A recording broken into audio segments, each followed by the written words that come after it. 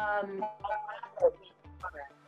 all right, great. And I see that Goldie has started the recording. Thank you. Um, Hi, Terry. So we're all set. So we, uh, Women of Backgammon, would like to welcome Bill Robertie, our guest speaker. He is a two-time World Backgammon Championship and author of multiple books, including Backgammon, Chess, and Poker. Um, his newest books are on uh, the opening move, how to play the opening in backgammon, part one and two. Um, many, many people have his staple 501 essential backgammon problems in their library. And um, we are very glad to have you here, Bill. Uh, we have glad a few, we have a few um, questions. Uh, you're going to be doing a Q&A with us and we have a few questions that people submitted in advance. And then also, um, ladies here, you are welcome to, um, to raise your hand and ask questions. If everyone could go on mute unless you're talking, let's do that first.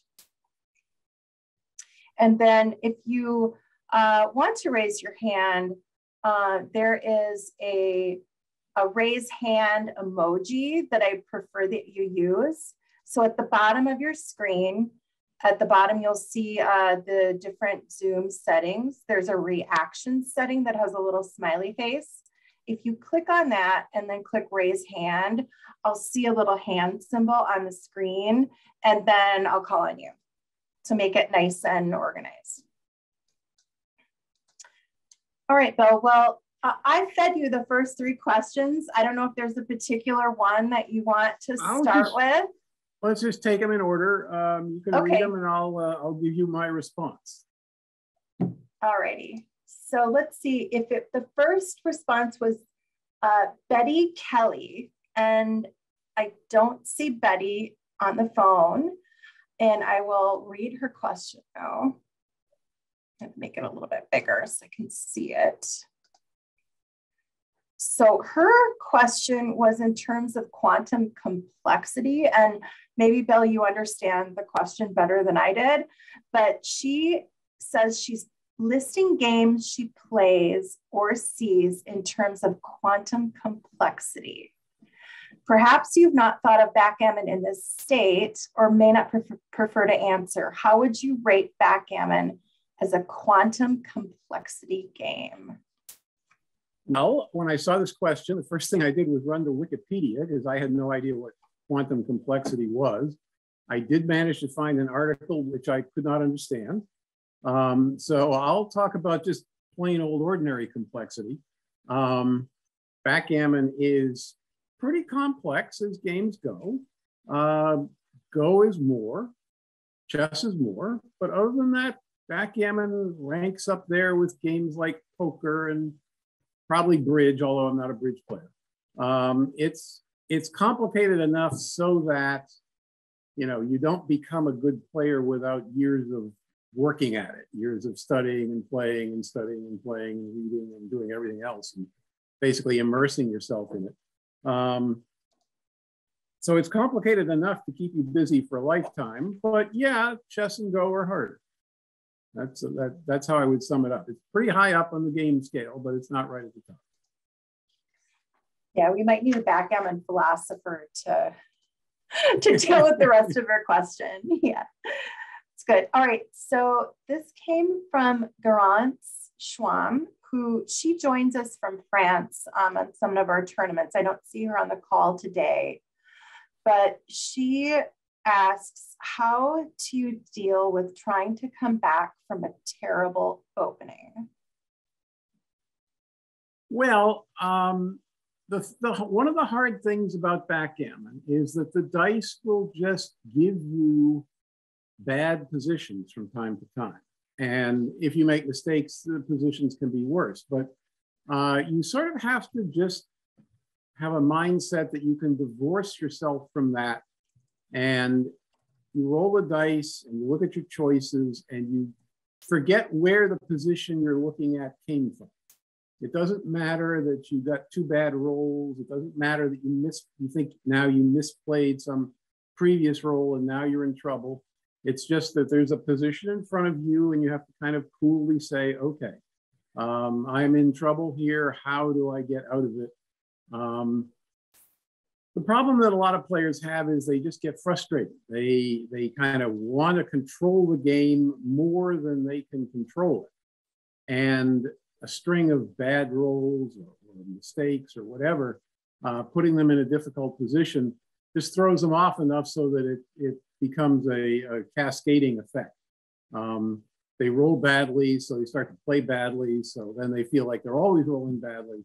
Um, and you just have to, part of becoming a good backgammon player is you just take the position by itself. You forget where it came from, you forget how you've been doing, and you just try to analyze it coolly. Um, and that's easier said than done. It's not a simple thing. Uh, everybody from time to time just gets pissed off at the way things are going. Uh, but as much as you can, you just fight that and just try to say, okay, I'm, I'm here to play some backgammon and I'm having fun. I like playing this game and I got this roll and I got to figure out what to do with it. And the more you, the better you can do that, the better you're going to play. Mm-hmm. But I'm making it sound easier than it is. It's, it's yeah, sometimes easy. controlling our emotions over the board are, are yeah. is tough. Yeah, especially yeah. if you're in the finals of a tournament and you know there's twenty thousand dollars at stake. Uh, yeah, that's a that's a stretch. You know, that's going to put a strain on you, but you still have to be glad that you're there. Don't worry about what you could have won if, you know, if this had gone right and that had gone right. Just be glad if you're in the finals. Just be glad you're in the finals and keep playing. Nice. Our next one is from Candace. And since you're here, would you like to read your question, Candace? Oh. Ask my question myself. If you'd like to, or I can read it. Sure. Uh, Bill, I want to know your opinion of the bot insistence that you make the two point with a 6 4 opening. Tom Gilbert is rolling in his grave. Okay. Um, all right. This is this is a very interesting question because it gets into the whole history of backgammon and such. But okay, first of all, XG doesn't say that making the two point with six four is just right. It's the, the all three plays with six four, whether you run, whether you split the backmen with a six and bring a four down, or whether you make the two point, they are all extremely close. They're essentially, in a money game, they're tossed. You can pick whatever one suits you. Um, what's interesting about this is how views of this roll have evolved over the years. Um, back in the I would say the 1960s and earlier. Uh, it was assumed that uh, your choice of the 6-4 was either making the two point or running, that those plays were clearly best. Two point was a point, running escape the back checker, those were good things to do, and you could pick one or the other. Uh, what happened in the late 60s and early 70s was that the whole pure school of backgammon developed in New York and the essence of that school, which you know consisted of many of the top players of that area, like Paul Magriel and Chuck Papazian and Stan Tomchin and Sienkiewicz and, and others. Um, the point of that school was that the purpose of backgammon, the, the winning strategy of backgammon was to build a prime and trap your opponent. And everything else was sort of subservient to that. It didn't matter if you got behind in the race. That was okay as long as you were building the five and the four and the seven points and trapping your opponent in there somehow. You were playing back in. Uh, and then in the 70s, that idea, those ideas started to spread outside of New York people were writing books and tournaments were getting played everywhere. And so these ideas were spreading. Um, most of those players considered 6-4 making the two point to be just a blunder. That was had nothing to do with priming. If you made the two point, it was very hard to make a prime afterwards. So that play was just off the boards. It was okay to run and it was okay to split, but you couldn't make the two. The and that's if you look at the famous books of that period, like uh, Magriel's book. You know, he just he labels making the two point virtually a blunder. Um, the guy who understood this first was Tim Holland. He wrote a book called Beginning Backgammon around 73 or 74. And he stated clearly in this, and, and this made him a pariah for a while in, in New York, but he stated clearly all three of these rolls were toss-ups. You could do anything you wanted with a 6-4 in the open rule. It just led to different kinds of games, but that was okay. And he was a, you know, he was a lone voice in the wilderness up until the 90s, when all of a sudden you had Jellyfish and then you had Snowie, and then 10 years after Snowie, you had XG. Um, and they said, no, the six four making two point, that's that's okay. Um, I think I think Jellyfish thought it was best. And I think Snowie thought it was a toss up with the other two. And XG has sort of confirmed, yeah, it's a toss up with the other two. Um, but it took a long time to reach that point. And uh, I give a lot of credit to Tim Holland for being the only good player who could look at those three plays and say, nope, they're all they're they're equivalent in terms of their value. Now, what I just said only applies to money games. If you're playing a match, one of those three plays is liable to be better than the other two, depending on the score. If you're behind in a match, you want to catch up by winning gammons, and making the two point becomes clearly right. Because every time you make an inner board point, you increase your probability that the game will end in a gammon for you by one or 2%. And that's enough to make it correct. Uh, if you're ahead in a match, you want to avoid being gammon, and then the running play becomes right, because that will lose the fewest gammons of all three. Um, but even in a match or for money, doesn't matter. You can do anything you want with a six four. They're all fine. But if you're if you're since now we mostly play matches now, and and in matches the score is mostly not even. So one of those plays becomes correct, and it's either going to be uh, if the score is lopsided, it'll either be making the two point for the guy behind, or making the or running for the person ahead.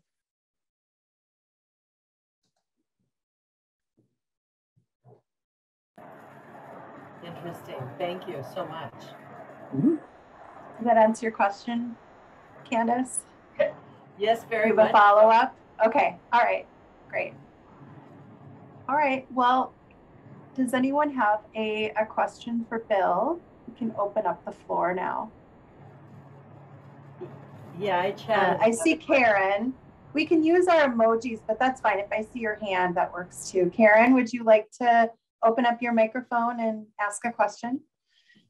Uh, Bill, uh, Monte Carlo is going to be held apparently at the end of July. And I know that you and Chris Bray have been uh, instrumental in getting it changed to, I think, the 53rd uh, World Championship, uh, changing the numbering. Can you tell us a little bit about that? What's behind that? Yeah, um, I wrote an article for my blog about seven or eight years ago on the sort of the, the, actual history of the World Championship because Monte Carlo took it over in 79 and has run it ever since.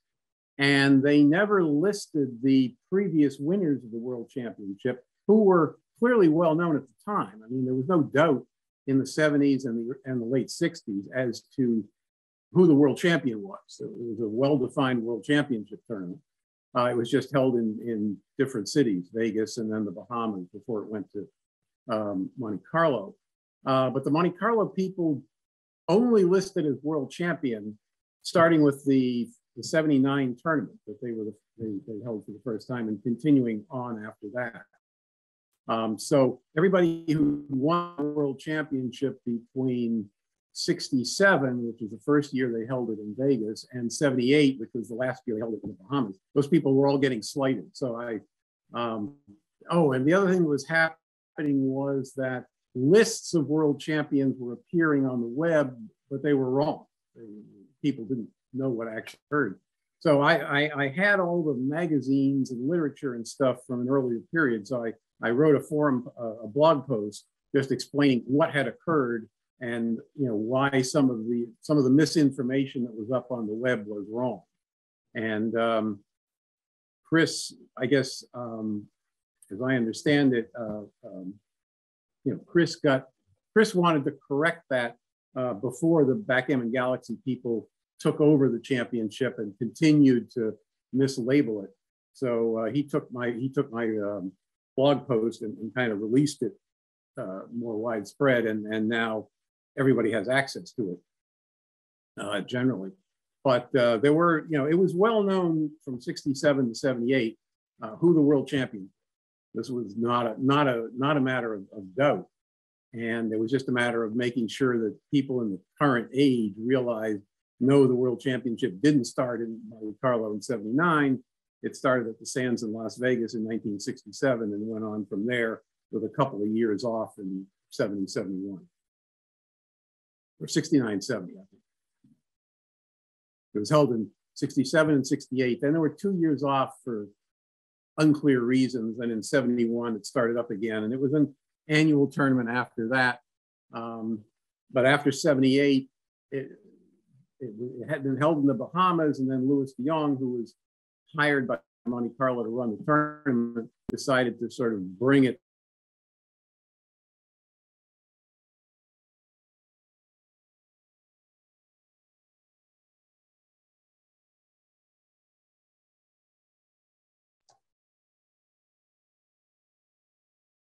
Looks like, did we lose Bill or is it only me? He's frozen. Okay, he's frozen.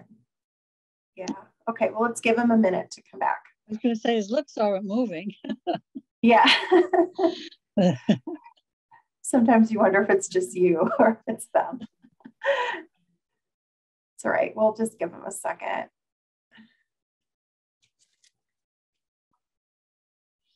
I'm going to send him a text message in case he doesn't know.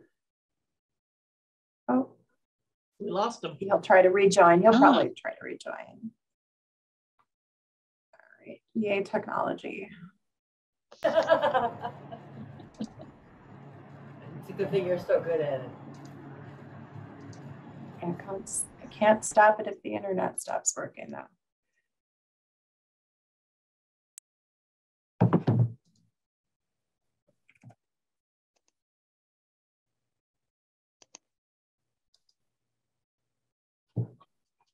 All right, I'm going to give them a quick call. You talks to talk amongst yourselves. There he is.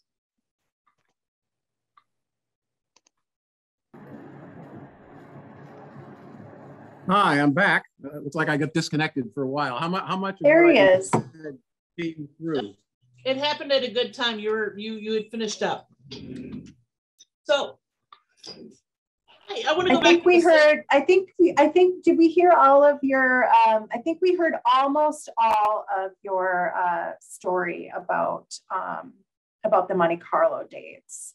Oh, okay. Fixed. Okay. Yeah, I think, I think we got through most of it. Okay. All right. And uh, Goldie, do you have a question? Sure. Uh, okay, great. The, I want to go back to the six four. Um, I I oh. uh, I'm low, intermediate, high beginner uh, uh, uh, rank. Um, I like if I can get the six, uh, the seven point and the two point. I like that because uh, I've I've played mostly online, and one in six, even though it's virtual dice, uh, still comes up more often than anything else. And so I like to cover the six and the one, and not leave the six and the one open if at all possible. Um, I don't know. Uh, it's just patterns that I've seen from playing online for 20 years. Um, and uh, so I like playing 6 4 to cover the two point, um, but I also am not tied to it. Uh, if if if it's not uh, opportune for me, if it's it's better for me to run, I run. But for uh, more often than not, I'm covering my two point. Um, running is fine. Uh, making a two point often goes down in value once you've done something else. Um, for example, if you, let's say you start out with a three one and you make your five point. Okay, that's very good. But now if your next roll is a six four, you're not going to want to make the two point. Um, first of all, to make it, you have to break the eight, which is valuable. You haven't really made a new point. You just swap the eight for the two. And the eight is potentially part of a prime where the two is not. So I, I once you start with a roll like three, one or four, two, and then you roll another six, four, you roll a six, four after that, you're probably going to run with it um, because running kind of fits in with the position you've got a little better. Um, examples like that, you know, once the game gets going, uh, you, you have to look at the kind of the relative value of all these plays and what assets and liabilities they create. And, and there are now no simple answers to something like making a two point. We can say on the opening roll that it's a toss up play, and you can do it if you want. But if you do it, you have to follow up correctly as well. And that's going to be a little different from following up with some of these other rules. Um, if, for example, you, you run with a 6 4, 24 to 14, then you don't get hit. Uh, your follow up is mostly trying to put some, some checkers in your outfield. Uh, that's almost certainly going to be right, unless you actually make a point. But after you're past the opening roll or two, everything becomes more complicated. Everything, every part of the position is affecting what you do. And so you, you, you can't have a kind of tunnel vision. Oh, I want to do this or that. You have to look at what's happened so far, what you've done, what your opponent's done, and all of that together sort of speaks to you and says, okay, now in this new position we've got, I want to do this. But certainly on the opening roll, if you want to make the two point with a six four, that's fine. Not making a mistake. Um, unless you're ahead in the match, and then then you should do something else. But um, you know, if you're behind or you're even, that's fine. I have recently um, uh, learned the value of building your prime from, you know, like seven or eight forward rather than from two backwards. Uh, it, it, it, works a lot. It, it work. It, it's it works a lot more in your favor to do that. Yeah, because you already have the six and the eight, so you've got you know you've got two points in there. You make a third with you know some number like um, six one, three one, four two one of those. Once you get three points in a row, you're you're starting to think, okay, my game plan here is probably going to be priming. Um, but that can change quickly. Um, but you know, primes are strong. The, the players of the 70s who had a priming approach to the game weren't wrong. It's just that they overdid it. They they mm-hmm. liked prime so much they sacrificed all of the game plans to get into a prime, uh, and that was an overreaction you know, backgammon is basically a game of balance. You, you look at a position and you say, okay, given this position and this roll, what play makes the biggest overall improvement in my game? It might be running, it might be splitting, it might be bringing down builders. You know, it could be anything depending on what the position now looks like. Um, but once you get a couple of moves into the game, the, the, the the, the ideas from the opening roll start to fade away and you have to confront this new position that you've got and say, okay, what am I doing here? What am I supposed to do in this position? And how do my different plausible choices affect that? Thanks, Bill. Great, thank you. Uh, Terry, would you like to ask your question? Uh, first, my apologies for my cat being a distraction. Um, oh, I have a cat. That's no distraction. Cats are adorable. yeah, he's an older guy, and whenever I'm on a Zoom call, it he makes it um, his business to come sit on my lap. Hey, I'm tell a, him he's welcome. Maybe you'll have a question. I'm a human pet warmer. Um, my my question over onto the uh, opening rolls. I remember at the uh, LA uh, Open, some guy was wearing a T-shirt that said something about the six two as an initial move down to slot the five point. And I asked him about that, and he said back and forth. I guess there's, uh, you know, some people that at one point thought that was the best opening move for a six-two, is to slot the five, and then I guess some people decided that was not good. I'm just kind of curious as to what your thoughts are about that. Okay. Uh, everybody in the late 70s and early 80s, when I took up the game, everybody played 6 2 by slotting the five point. And we just, since everybody did it, it had to be right, right? Um, but then uh, this was not the bots idea. Before the bots came along, people started experimenting with splitting in back with the six and bringing a two down. And gradually that caught on. People just realized that, um, you know, that was a nice, flexible position. The, you know, eh, when people, when we were doing this, uh, there was a general realization coming along that splitting was more important than we used to think back in the late 70s. Uh, the late 70s were all about offense, you know, um, make your five point, make your four point. If you can't make them, slot them, do anything you can, make your prime. Um, as we got a little more nuanced and started to see, okay, no, splitting is really important. You don't want to get blocked in. Uh, 2418 became sort of the accepted play with an opening six, unless it was 6 1 or 6 5. And then the other half of the play was going to be 13 to 11 or 13 to 10 or 13 to 9. Um, the, but when the bots came along, they sort of confirmed that yes, those are the best uh, opening uh, plays with those rolls, and you should do it. And it's clearly better than slotting five point, which is almost a blunder. So if you met somebody who thought that, they're they're they're they're a holdover from the seventies. He actually looked like he was a holdover, so that makes sense. yeah, probably been on a desert island. Yeah, thank you. Okay. All right, great. Uh, Peggy, would you like to ask your question? Oh, I'd love to. Thank you.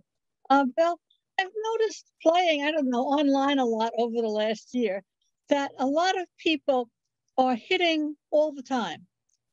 Um, for example, you have a, a chance to make your five, but they'll hit instead. Or you have a chance to come out and they hit instead. And I'm wondering if this is the latest fad. Uh, is is this a carryover from the old days when people didn't realize they should be making their five or something like that? Um, uh, it's a it, is a carryover from the old days, although I don't think the players you're talking about were around back then. Um, but yeah, there was a style. You know, part of the pure style was hit, and if you get hit back, that's okay because it's fine to play a back game. And if you don't get hit, maybe you make the point. Um, here's how you should think about it. When you make a point, like the five or the four, the seven, even the three, um, or an anchor on the other side. When you make a point, you create an asset that lasts for a long, long time. And every roll after that, that asset, to a certain extent, reduces the things your opponent can do and increases the things you can do. It just affects the position enough so that some of your opponent's rolls now become not as strong as they should have been because you have this point that's in the way. So think of it like a, like a worker bee. It just works for you all the time. It's grinding out a little bit of equity every turn because you have this solid asset. The problem with hitting is that might work, might be fine, but when it doesn't work, you you don't have that asset that you could have locked up. So your game isn't nearly as good as it should be. Um, it depends a little on what kind of point we're talking about. You know, like if we're talking about making the five point, boy, you, you know, you don't pass that up from very many hits. If you're talking about making the 10 or the 11, well, that's not so such a big deal. Yeah. Um, you know, passing on those points and hitting somewhere, um, you know, may well be correct. And of course, the other thing is you got to look and see what what checker are you hitting? You know, if you're, if you're hitting a checker that's slotted a point in your opponent's board, well, that's probably almost a forced play because you don't want your opponent making those points. If you're hitting in the outfield somewhere, eh, that, that, then, then you're more likely to think that the permanent asset is going to be correct. Bill, as a follow up on that question, suppose your opponent's opening roll is a 2 1 or a 4 1 and they slot their own 5 and you now roll 3 1. What will you do? Hit. Always. Uh, now, the reason is yes, the thing here is yes, you could make your 5 point, and then your opponent makes his 5 point, and now you're in an even game. If you hit, you're a favorite because you're heading the race. That's it. That, that, that's basically all the reasoning you need for that. One play makes you a favorite, one play makes you pick them. Choose the play that makes you a favorite. Thank you. Mm -hmm. Okay. Uh, Gail, would you like to answer your, ask your question? Yes. Um, Bill, what's your point of view about an early double if you're if if you if you have a, a, a an understanding that you're I would say you're more than slightly ahead, uh, but there could be a risk, of course, that the game turns. Well, uh, all other things being equal, when you double, you don't want to be just a slight favorite. Because once you double and your opponent accepts the cube, um, you know, that cube is worth a lot. And, and if you were, let's say, a 50, say, say, you know, someone could tell you, uh, you're a 55 45 favorite in this position.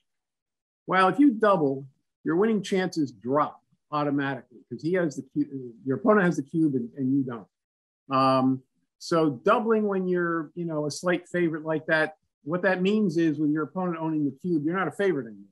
You're even. Um, so leave it in the middle. Doubles, you know, the, this depends wildly on, on how volatile the position is, but in general, you're doubling when you're something like 65, 35, 70, 30. That's the area where most of your doubles are going to come. Uh, you're a favorite, you're a solid favorite. He has a clear take, that's okay. Um, but that's when you want to double. Now, the other thing you have to consider is not just how big a favorite you are, but how volatile is the position. For example, if, if there's no blots around the board, then you tend to wait on doubling until you're a really solid favorite because if there aren't any blots floating around, there's not all that much you can roll next turn that will make you a much bigger favorite. But if your opponent has, you know, if you've got what looks like a slight positional edge, but you notice your opponent's got five blocks, well, you're going to double that. Because if you roll well and pick up a couple of blocks, uh, you know, it could be game over in a turn or two. So the more volatility you have, the less security you need in order to double. You know, you might double, you might be a 58 42 favorite, but if you've got four blots around, fine, double now. Because those four blots could translate into a disaster for him on the next turn. And you want to double before the disaster happens.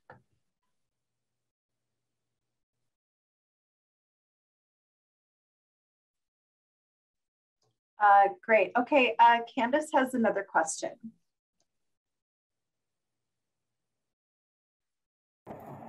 Okay.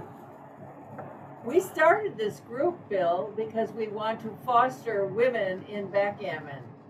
And I'm just curious why you think there already are not more women than there are in backgammon. Well, nobody's keeping them out. I mean, every tournament is, is, is totally open. Um, you know, I think I just don't think there are quite as many women who think backgammon is a fun thing to do. Um, you know, my wife plays backgammon and she likes it, but it's not ever going to absorb her particularly. It's not going to drive her to, to, to go to tournaments. Um, I think there are there's a certain kind of guy who looks at backgammon and says, "Oh, this is great. I want to do this and, and I want to do it all the time. And I'm going to study hard for years and I'm going to play in every tournament I can. Um, and I just don't think there are that many women who look at it that way. Um, part of it is, uh, you know, part of it's the lack of exposure. I mean, I think what you're doing is great and you're, you know, you're sort of encouraging women to, to show up and, and play. And that makes tournaments more fun as far as I'm concerned. Um, but I think they're, they're, guys have a certain obsessive quality in their mind that you know draws them to things that require lots and lots of study and work to get better. I mean, I took up backgammon in 76. I had been a chess player before that. Um, but I took up backgammon because I could sort of sense it was getting to be a big game and a lot of money seemed to be floating around. And that got me very interested. And from that time on, for like the next seven or eight years, backgammon was all I did. I mean, I, I had a job, I went to work, I came home, I had dinner, and I either studied backgammon, uh, rolling out positions by hand, or I went and found a chouette somewhere to play in, or I'd play in a tournament on the weekend or something. Um, but literally, my whole life for several years was backgammon. Um, and I didn't have a second thought about it. It wasn't like I, I said, oh, I should be doing something else here. I'm, you know, I'm, I'm doing too much. No, I was, uh, I was happy as a clam. This was perfect. Um, so I think what you have to do is, you know, just expose more women to backgammon and a certain number are going to come in and, and, you know, the numbers will eventually start to balance out a bit. Um, but I think you'll all, you know, no matter no matter what you do, I think there'll always be more guys playing backgammon in tournaments than, than women. Is there a higher concentration of women in chess? Uh, no, much lower. Much lower. Much lower, yeah. Interesting. That's interesting. I mean, backgammon, backgammon does have a social element to it. It's fun to go to a tournament and go out to dinner with your friends and do this and that. So chess doesn't even have that. Chess is hard work.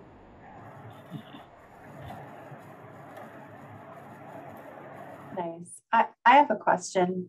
So I discovered this forum that it looks like it's been going on for, for quite some time. It's called Two Plus Two. There's a little backgammon corner mm -hmm. in it. Mm-hmm. And I discovered all of these wonderful quizzes that you have and really descriptive commentary. And i go back to it all the time and i always like pick up something new.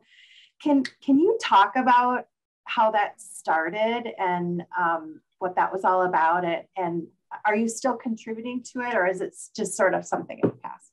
Um, I I contribute to I, I read it every day because I'm the I'm the uh, I'm the you know forum manager there um, and whenever there's somebody has a question, I pop in and, and give them an answer. I'm not putting new problems up there.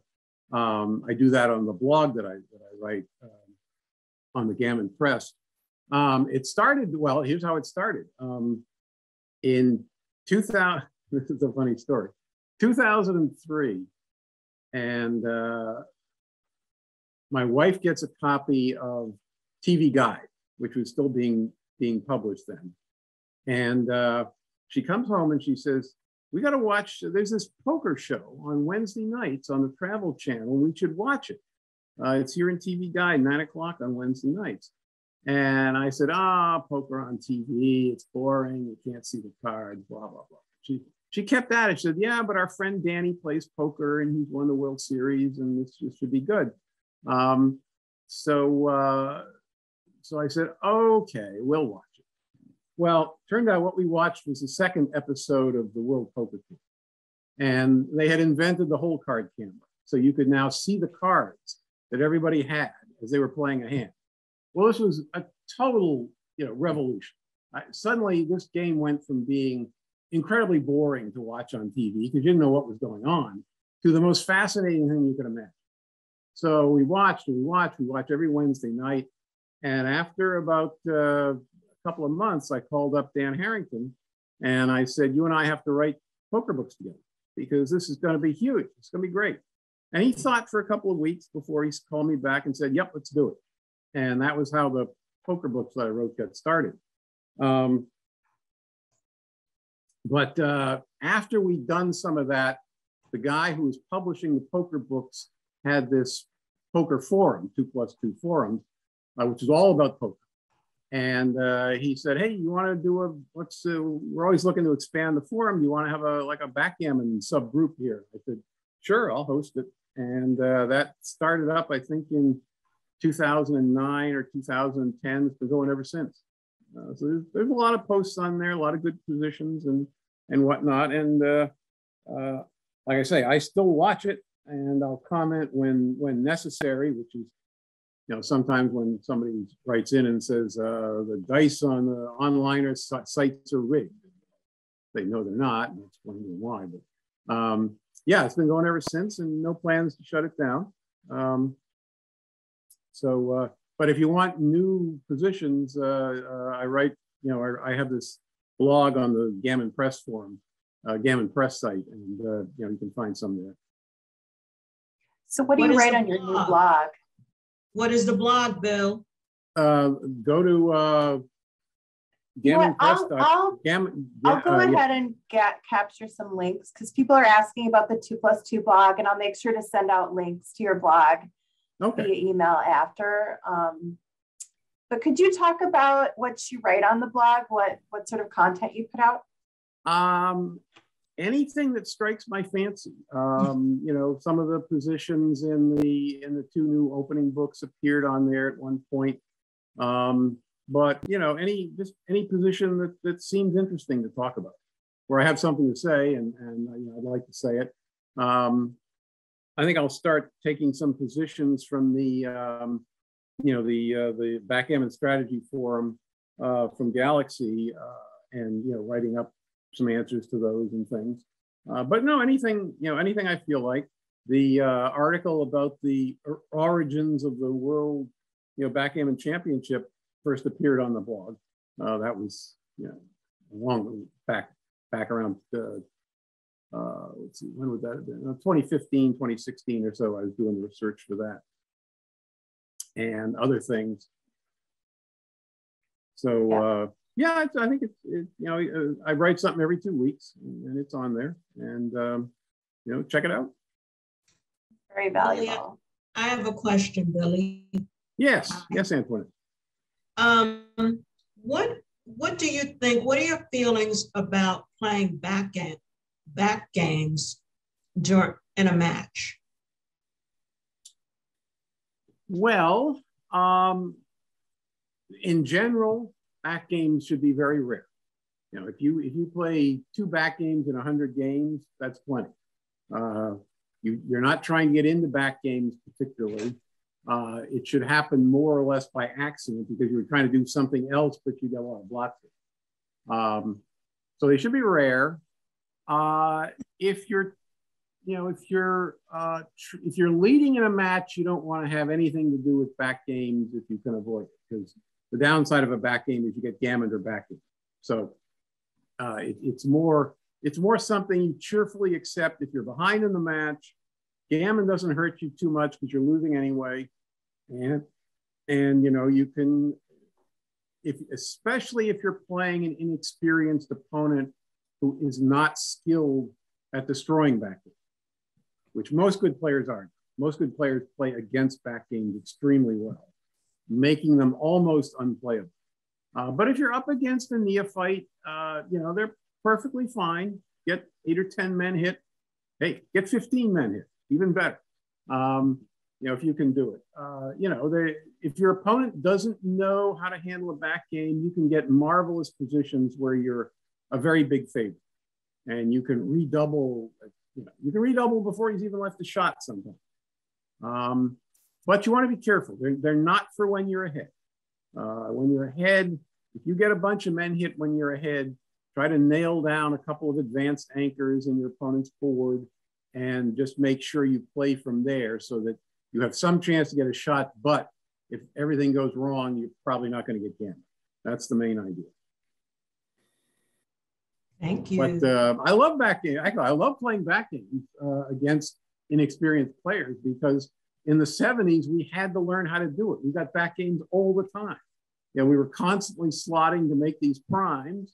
And when our slots all got hit, we have five or six men back and whoops, you're playing a back game.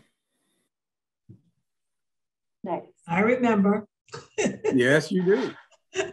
Those, those were the those were the days. Those were the days. Yes, sir. Say, Peggy, I know you have an icon by your name. Did you have a question?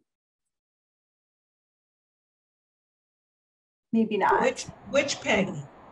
Peggy which Culpepper. Peggy? Peggy Culpepper. Maybe not. I see it says slow down, but I she might have hit the wrong icon.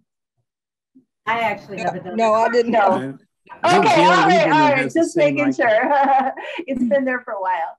All right, Candace. Another... Yes. I didn't know, Bill. I just don't call you on the phone and ask you a million questions all the time. why aren't you playing all the time anymore? Why aren't you at every tournament like some of the other old timers? Well, uh, unlike them, I'm not really retired. I, you know, I got a business to run here. Uh, I got lots of stuff to do during the day. I just don't have that much uh, that much time to get out. Um, plus, I, I got to say, I I don't like the idea of going to a tournament and wearing masks uh, while I play. I, am totally vaccinated. You know, I'm not I'm not some anti-vaxxer here, but um, I just like being comfortable and and I'm not comfortable particularly wearing a mask. So um, I play a lot online, and that's fine. Yeah, but we've only been wearing masks and all that for the last two years. Prior to that. Oh, prior to that, I played plenty. Um, uh, you know, I, I, usually made it down to New York for, um, you know, the New York Metro. Um, sometimes I make it down to Florida for some tournaments. Um, you know, the, the problem is I've got this sort of ongoing business with lessons and books and, you know, whatnot. It just it keeps me busy. And Patrice. Oh yeah, yeah, yeah. no, she's she's a great wife when it comes to you know to being a backgammon player. She'd let me go if I wanted. Um, it's just that I've been too busy to go uh, for the most part. Can you give us a progress report on your third book? Third book is all written. Uh, it's proofread through half of chapter 14. There's five chapters, 11 to 15. Um, and after it, proofreading is done, um, you know, I'll start typesetting. Um, probably be out in the spring. So is it another Good news. moves book? What is the third book? Uh, the third book is about, you know, it, it's an extension of the first two. It just covers the last group of types of positions that I wanted to talk about. Um, it covers doubling in the opening in case the position is not a blitz. You know, there's all sorts of blitz doubles in the opening, but uh, I explained in book one that blitzes were not going to be included here. They're a separate entity under themselves, but there are plenty of positions you can double in the opening, uh, which aren't blitzes. And there's a chapter about that. There's a, there's a very big and important chapter about how to play when you have, when one side has one checker back and when one side has no checkers back. You, know, you escape the checker or you escape both checkers, the game changes dramatically. And there's a whole chapter about how it changes both for the player who's escaped and the player who is who has not escaped but is you know, confronting the guy who has escaped. Um, the other three, they're about um, a lot about slotting, double hitting, things like that that hadn't been covered in books one and two.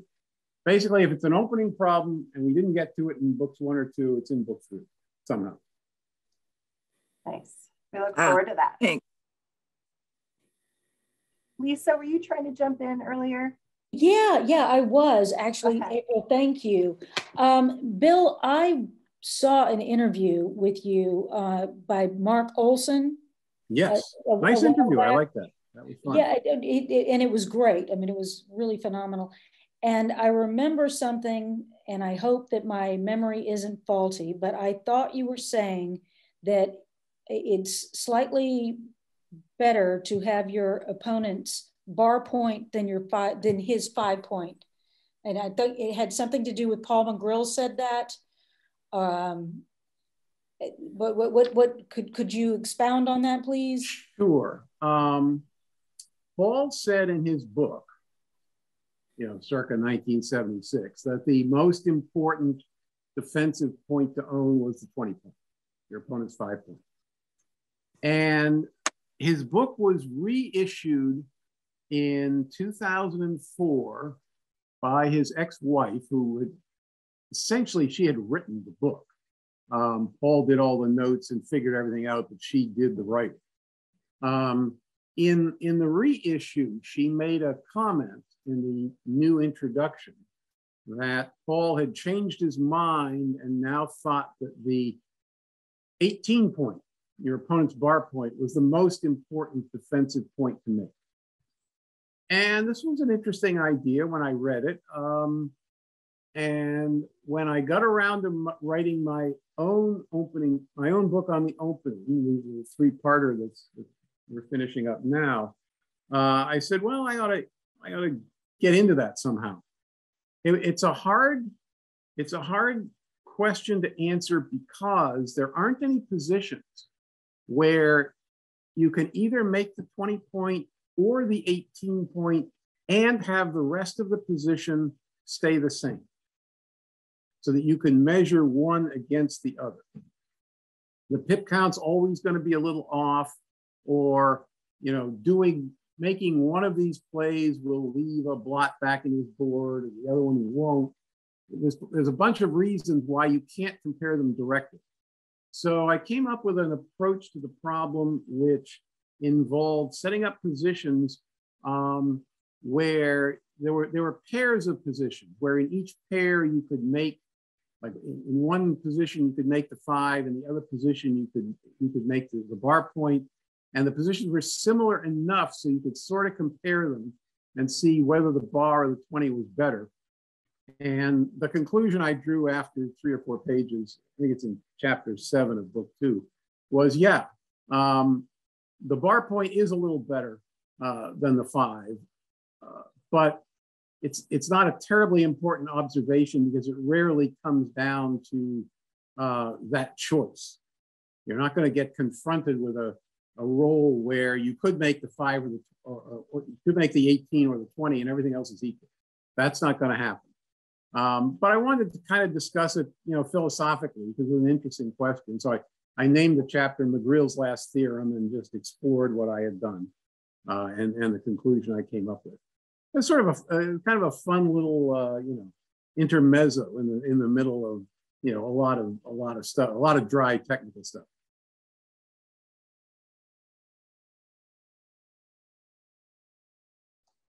Okay, great. Any more questions?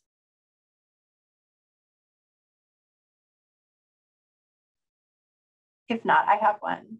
Um, okay. So, do you have any basic advice for players that are developing their game on the best way to go about improving? Yes, I do. I do have some advice for that. Um,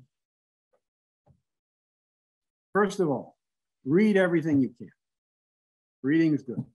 Just just give you ideas. Uh, that's a start. Play as much as you can because you just have to play in order for these ideas to get into your head and percolate around. And you're very, very lucky if you're learning backgammon today because you can do those things as much as you want. You don't have to go to another city to find a game to play in, scrounge around your own city to find chouettes or anything else. You can play online all you want. There are plenty of tournaments out there, uh, but you have to play, and then uh, playing is good. But the other thing you have to do is when you're playing online, recognize that every game you play is a treasure trove of insight. If afterwards you download it and you put it through Extreme Gammon, look at it, and you go through it slowly, kind of roll by roll, and just see what did I do? And what does Extreme Gammon want me to do? And if it's different from what I did, why is it better? And you just kind of ask yourself that over and over again. Um, that's what I do now. Uh, you know, I, I, practice against Extreme Gammon on the computer behind me here, and you know, it's it's kind of essential. You just immerse yourself in the game and force yourself to keep saying, you know, why did this happen? Why did that happen? Why did something else happen? Um, if you can, you know, make a list of the positions where you're stuck, where XG says you ought to do this, but doesn't tell you why, and you can't see why. And then if you, you know, if you find a strong player at a tournament you go to, ask them. Say, look, uh, I want to show you a position. Can you tell me why this is better than that? And most likely you'll get an answer. It'll probably be a good answer. Um, but it's a process. It's you know, think of yourself like uh, okay, you joined a golf club and you'd like to be a better golfer. And the pro at the golf club just says, you got to go out and hit balls and hit them and hit them and hit them some more until your body just you know, reacts properly to the swing of the club.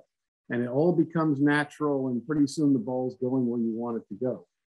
Backgammon's like that. You just keep doing it until things start to fall into place. And it's a lot of hard work, but it in the end it will work out. You will you will come to understand it.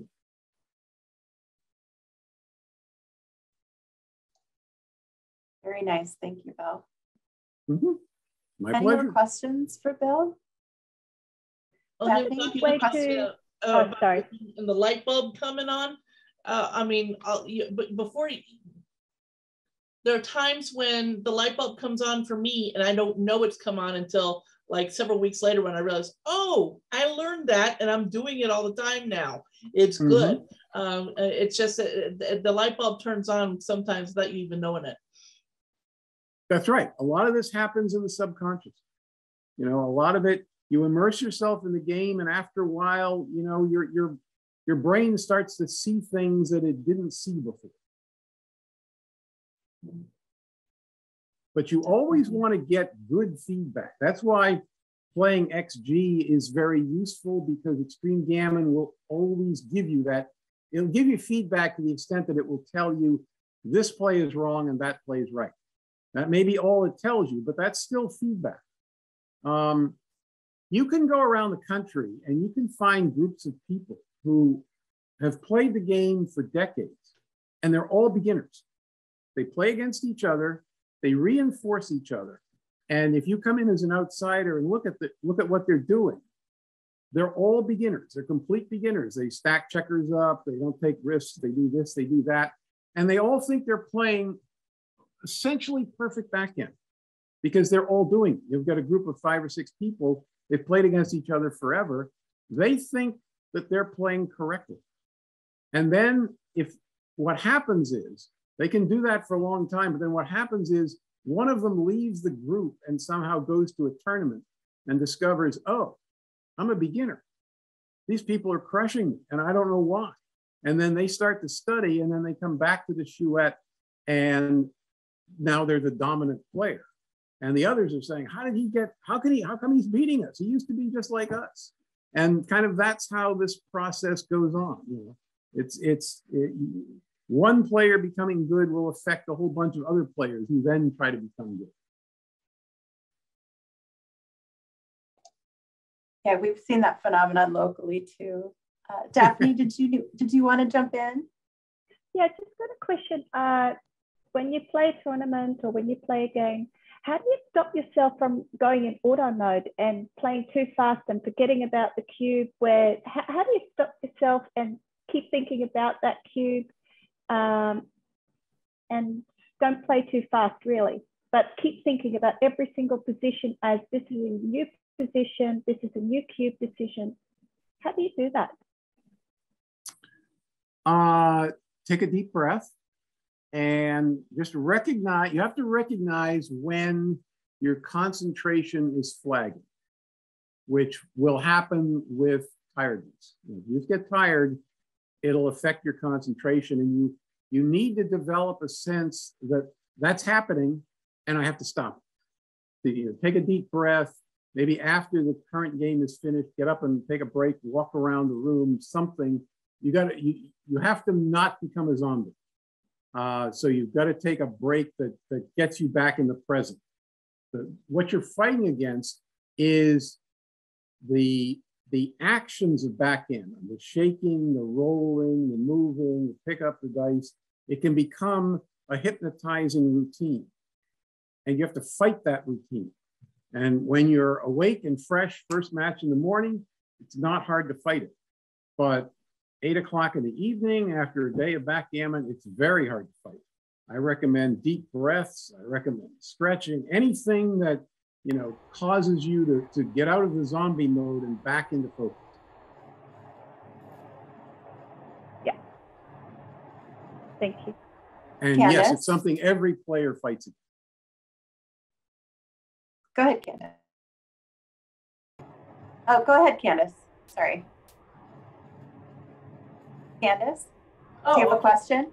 I do have another question. Okay. Um, I want to know your opinion, Bill, as a tournament director leaving aside the fact that it's illegal, I'd like to put an end to pip counting in our heads. We just came through a year and a half of not having to do any pip counting. The same people were winning tournaments, and the mountains did not topple over one another, and oceans did not rise up and drown everybody out. Mm-hmm. So the world did not come to an end. The arguments against it, leaving it again aside the technicality that it's currently illegal on the rules. Um, and I've discussed this with Rich Munitz and Art Benjamin. The argument against it is it's a skill and don't eliminate a skill from the top players who are able to utilize that skill. The arguments in favor of eliminating pip counting, meaning let, allowing paper and pencil during the match so that we can keep track or we can add it up on paper and not have to try to do it all mentally. The arguments in favor are as follows. It saves the better player time that he can now spend strategizing.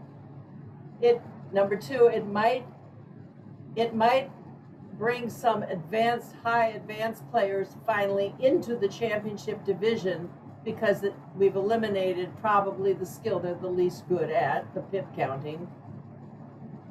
And I forgot number three right now. So, what is your opinion about allowing mechanical aids to keep track of the pip count during a match? Uh, I would be as strongly opposed to it as anything I could be opposed to. Um, I think that's an essential skill of the game.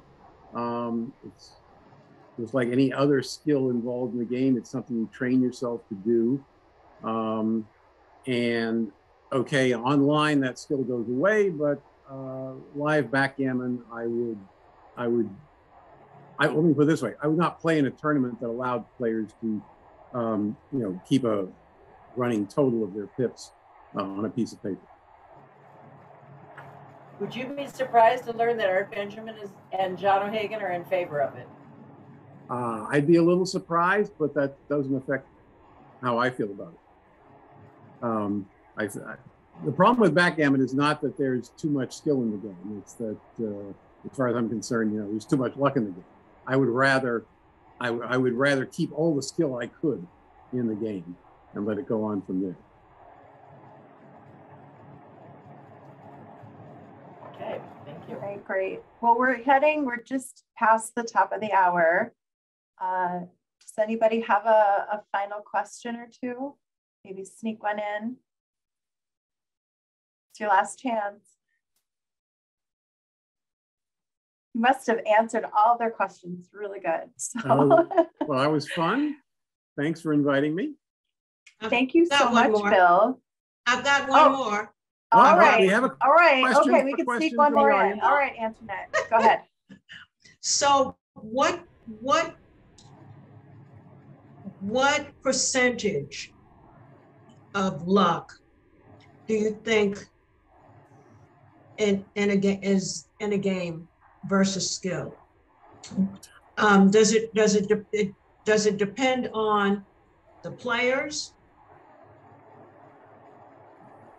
Um, yeah, well, to a certain extent, if you if two equal players are playing a match, by definition, it's 50-50. Uh, essentially, that's that's all luck um, at that point because their skills are, are completely balanced. Um, world class player against beginner, it's virtually all skill. The beginner can't create positions that bother the world class player to any extent. Uh, so the world class player wins, you know, 80% of the games. Um, so it's just, uh, it's almost purely a function of the skill differential between the players.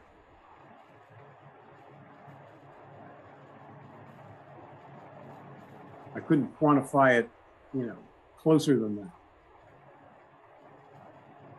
That was my thinking. As much as it irritates me, uh, uh, my opponents uh, complaining about rigged dice, et cetera, et cetera, it makes me very happy when they tell me how lucky I got when I know it wasn't luck. to take advantage of what may come.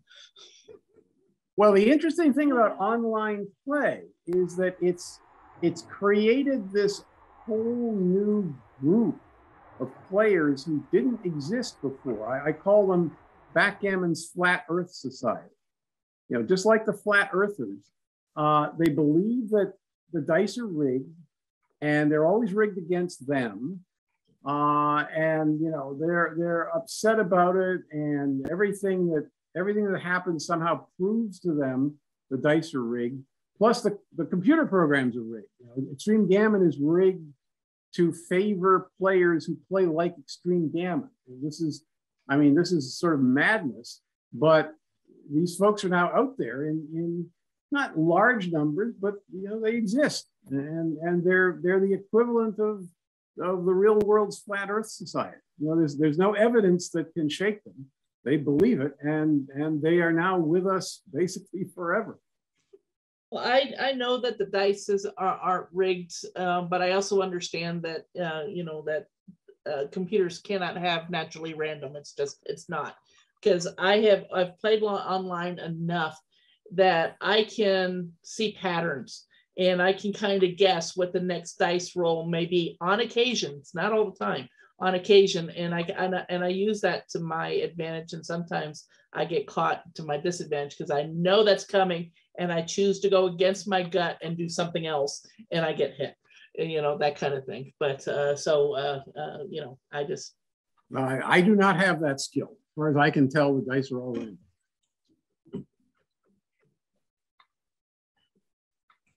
All right. Well, Bill, Billy, maybe you ought to pay. Maybe you ought to pay Goldie to teach you that skill. Yeah, I, I might. I might have to look her up, see what she charges. Yeah.